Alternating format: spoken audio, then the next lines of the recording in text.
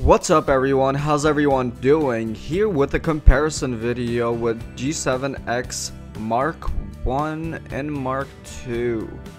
This is the Mark 1 where I'm holding and this one is the Mark 2.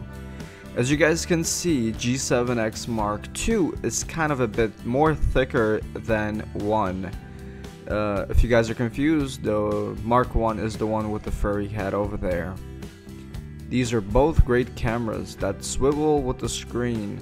Um, G7X Mark 1 just goes up and down, but Mark 2 comes out so you can swivel it down or up for the different angles that you want to see. And here's the Mark 1. So this is the zoom for G7X Mark 1. It makes sound. And here's on the Mark 2, it's just fluid, it doesn't make any sound. But there's a switch if you want to make make it make a sound, it will make a sound if you want to turn on the switch. So here is a comparison of G7X Mark II footage. This is the Mark II. Yep. And comment down below what you guys think about the quality of the video of the Mark 1 and Mark 2. This videos will not be colored at all.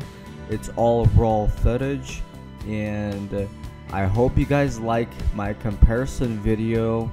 So guys, don't forget to like, subscribe and comment down below what you guys want to see next.